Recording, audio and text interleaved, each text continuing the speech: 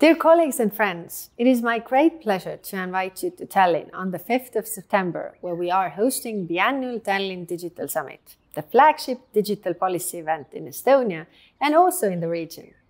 This year's summit looks at how to refresh the agenda of democracy and technology. The way we govern technology shapes the world we live in.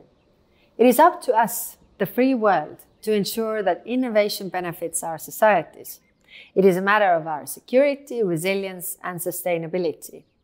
Join me and other leaders, entrepreneurs, and the tech community in Tallinn to chart the course for the future of the open digital world.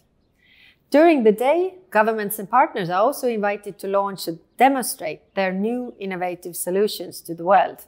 So, see you all in Tallinn this autumn.